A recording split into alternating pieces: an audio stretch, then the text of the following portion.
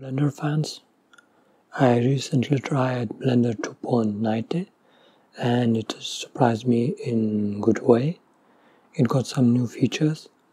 Blender 2.90 became more user friendly. Extrude, dissolve and intersect option became very similar to SketchUp or other CAD software. So let's try new features. First use a cut tool to cut an object into pieces become very simple.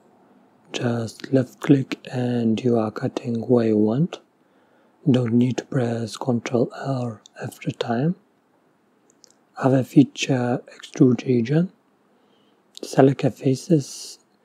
You can extrude like in SketchUp push and pull. It is very useful to create architecture buildings faster if you don't need great topology, just hold left button on extrude region. This new tool to automatically split and remove adjacent faces when extruding inwards.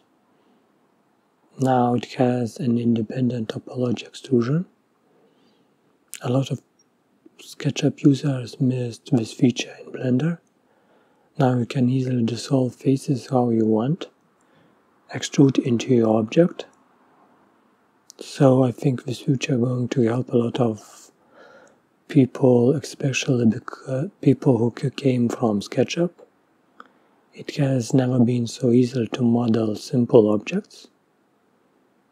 Other features also are great. Thank you for watching. Stay tuned for more videos.